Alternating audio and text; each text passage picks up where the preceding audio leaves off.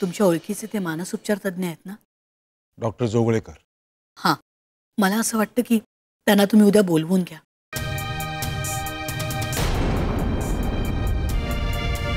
त्यांनी रमाला पाहिलं की कळेल आपल्याला तिला नेमकं काय झालंय. आणि मग त्यांचा सल्ला घेऊ. ते म्हणाले तर तिला मानसोपचार घेण्यासाठी हॉस्पिटलला पाठवू. मग ठरलं. सर्वानुमते हे योग्य आहे. नाही, पण मला वाटतं घरातला एक मेंबर इथे कमी आहे. कल्याणी कुठे मामांजी तिला रमाजवळ बसवलंय. बरं मग मला वाटतं खूप रात्र झाली सगळ्यांनी झोपा भाऊजी तेवढे डॉक्टर जोगळेकरांचं पाहिलं हो पाहतो. चला. चला मग. चा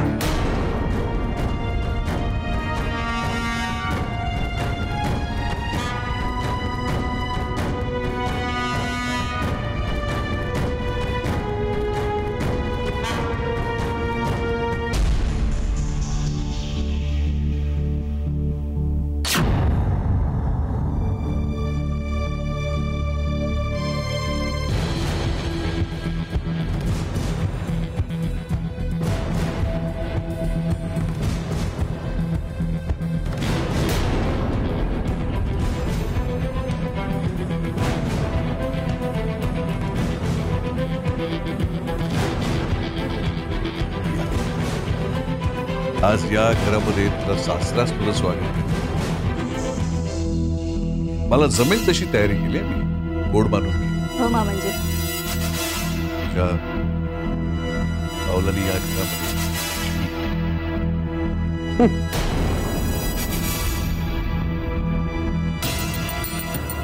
चांगला सुखाने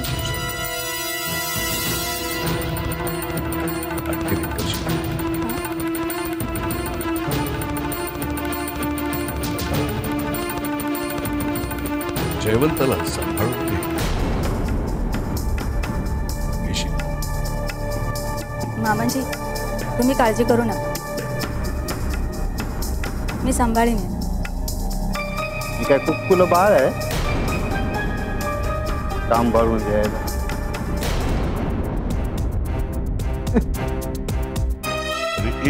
जयवंत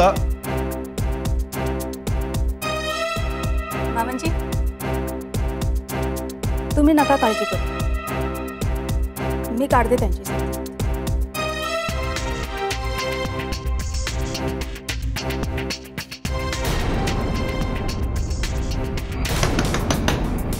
अहो!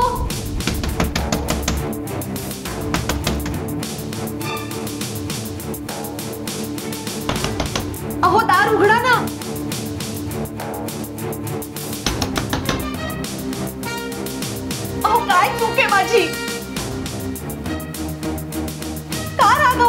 रागवलाय अहो आज आपल्या लग्नाची पहिली रात्र आहे. उघडा ना दार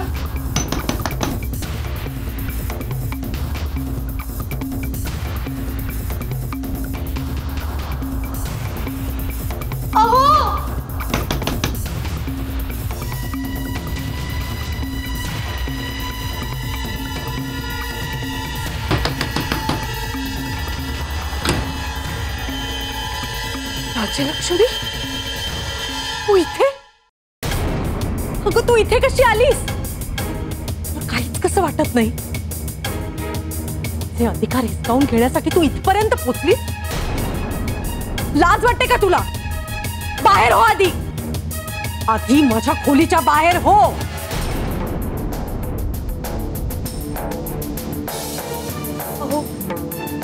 ही राजलक्ष्मी काय करते आपल्या खोलीत? असंच आपलं लग्न झालं ना असंच आपल्या लग्नाची पहिली रात्र आहे। बरोबर तुम्ही असे कसे वागू शकता!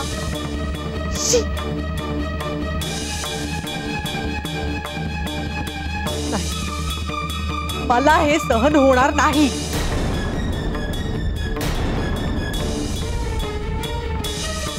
नाही सहन होणार मला. अगं हे अहो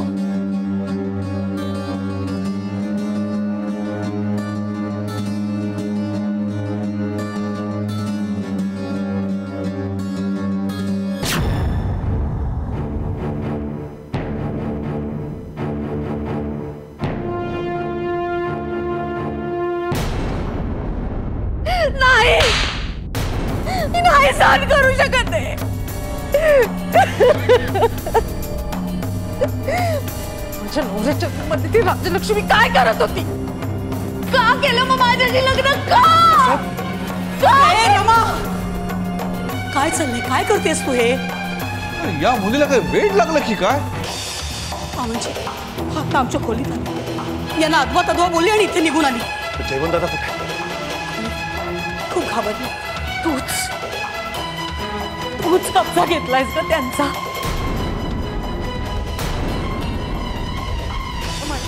त्यांच्यावर प्रेम। पण आता तुझा अधिकार नाहीये, राजलक्ष्मी. मी त्यांची लग्नाची बायको आहे, मी.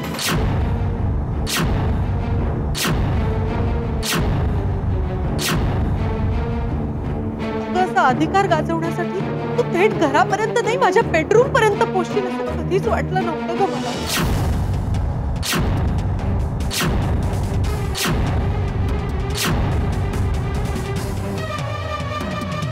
काय बोलतेस तू हे. आणि कोणाशी बोलतेस कल्पना आहे का तुला? काही माहिती नाहीये.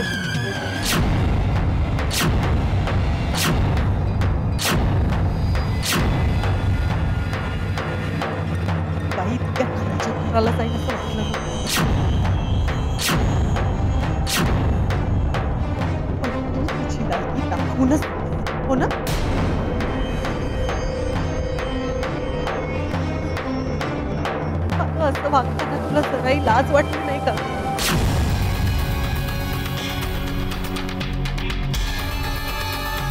जनाची नाही, निदान मनाची.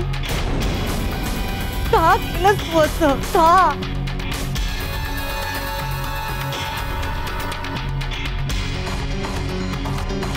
पण तुझंही बरोबरच आहे.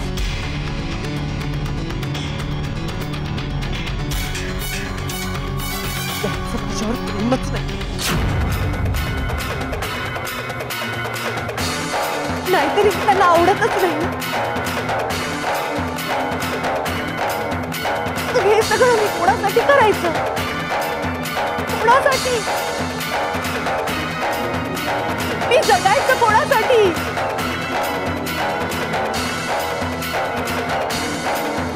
माझ्या अस्तित्वाला ना काही अर्थ उरला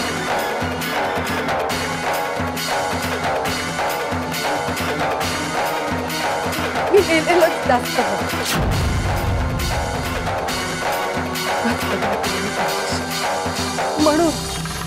म्हणून आजचा हा दिवस बघावा लागतो.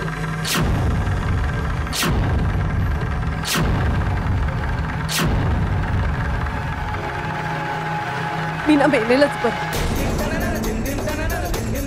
तुमच्या दोघात अडथळा नाही व्हायचंय मला. मेलेलंच बरं.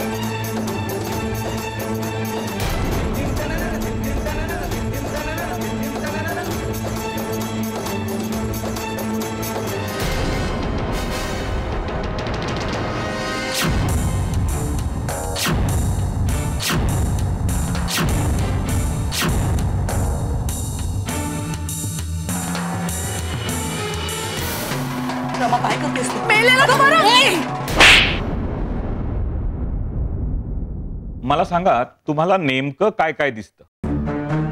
नेमकं काय दिसतं ते नाही सांगता येणार मला.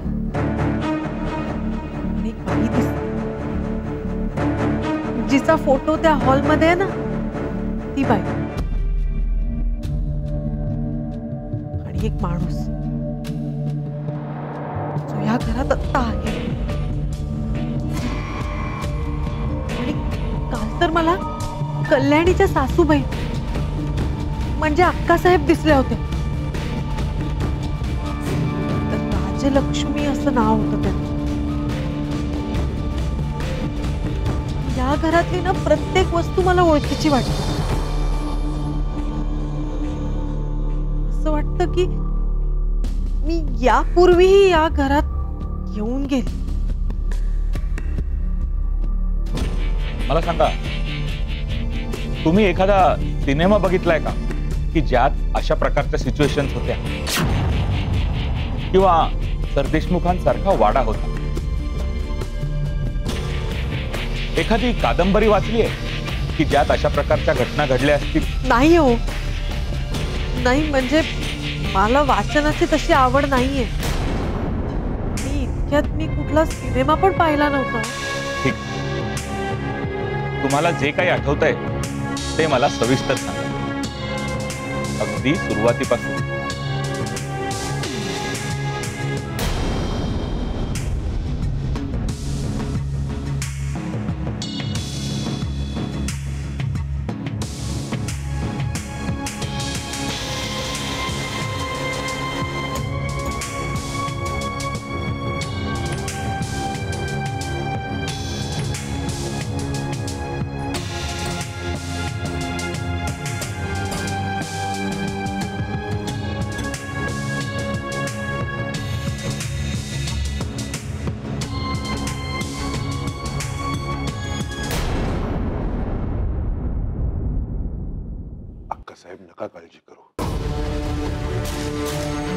डॉक्टर जोगळेकर मनोविकार तज्ञ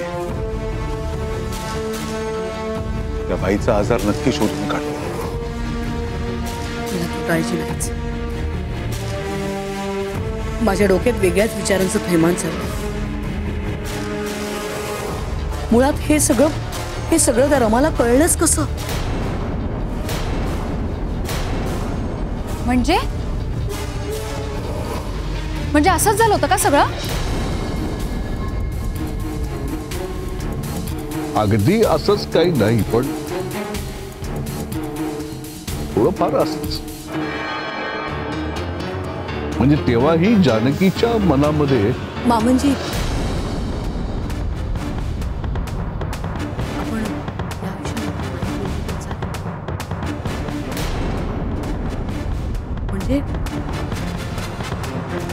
डॉक्टर रमाच्या बाबतीत काय म्हणतायत ते बघूया ना आधी. मला माहिती तुम्हा सगळ्यांच्या मनात अनेक शंका, अनेक प्रश्न आहेत. माझ्याही मनात. अगदी देवकी भाऊजी यांच्याही मनात आहेत, पण त्या रमाला काय झालंय हे आपल्याला नीट कळलं तर मग ठरवता येईल ना काय करायचंय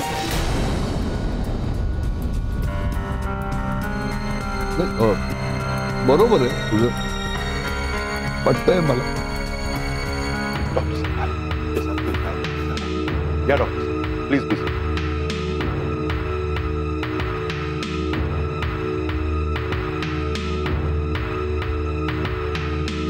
तिला जी हॅल्युसिनेशन्स होत आहे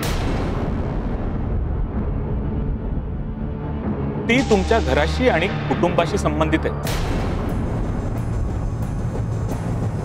हॅल्युसिनेशन्स होणं म्हणजे भ्रम. ती मला म्हणाली त्या फोटोतल्या ज्या बाई आहेत, ती मीच आहे असं मला वाटत. ही जागा इथल्या वस्तू, हे घर, हे सगळं तिने आधी कधीतरी पाहिलंय असं तिला वाटतं. तुमच्यापैकी अनेक जणांना यापूर्वीही ती भेटली आहे असं तिचं म्हणणं आहे.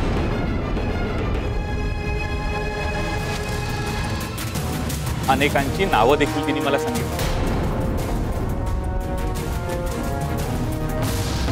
आता ती हे जे काही सांगते, ते जर का खरं असेल, तर हे तिच्या मनाचे खेळ किंवा हॅल्युसिनेशन असं म्हणून सोडून देता येणार नाही. पण ते हे नक्कीच काहीतरी वेगळं आहे.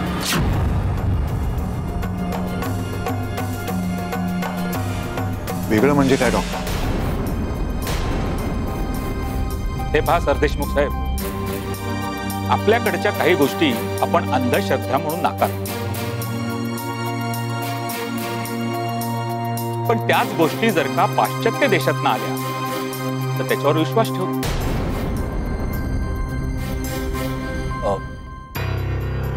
हो, कारण ते लोक डोळे मिटून विश्वास ठेवत नाहीत असं कुठल्याही गोष्टीवर. उघड्या डोळ्यांनी विचार करतात एखाद्या विषयावर वर्षानुवर्ष रिसर्च करतात शोधकार्य चालतं त्यांचं.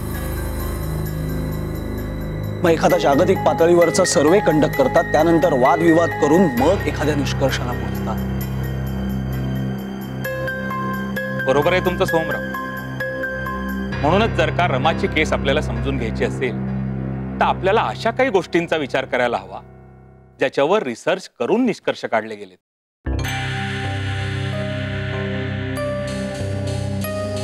तुम्हाला विश्वास बसणार नाही. पण एक सत्य घटना सांगतो. उत्तर प्रदेशातील एका खेड्यात घडलेली ही घटना. एका शेतकऱ्याचा पाच वर्षाचा मुलगा. अचानक एक दिवशी तो वेदातल्या ऋचा म्हणू लागला. त्यातले श्लोक अगदी त्यांच्या अर्थासह आणि अचूक उच्चारांसह त्याला तोंडपाठ होते.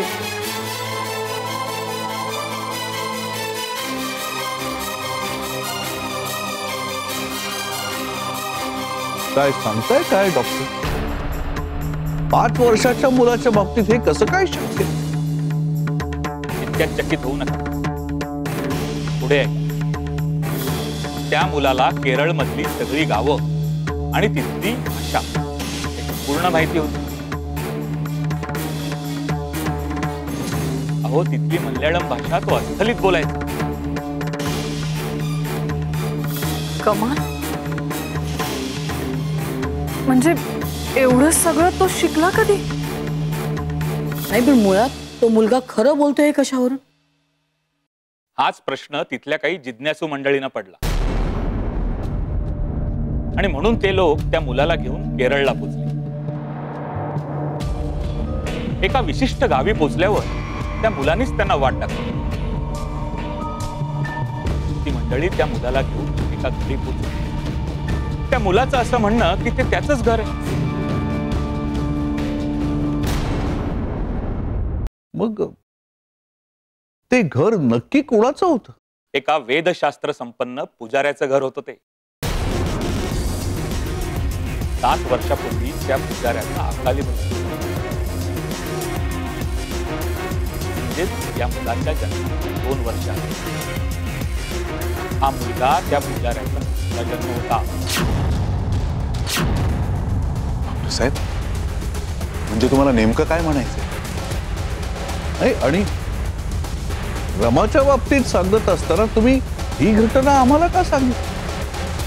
मी जे काय म्हणतोय तसं असेलच असं नाही. पण रमाने आपल्याला ज्या गोष्टी ज्या घटना सांगितल्या त्या जर का तंतोतंत खऱ्या असतील तर फोटोतल्या या बाई म्हणजे जानकीताई. यांचा रमाच्या रूपानं पुन्हा एकदा जन्म झाला.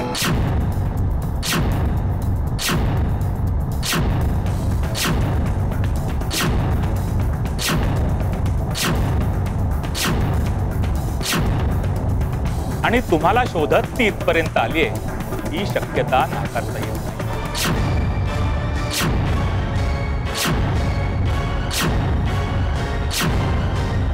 काय जानकीताईंचा पुनर्जन्म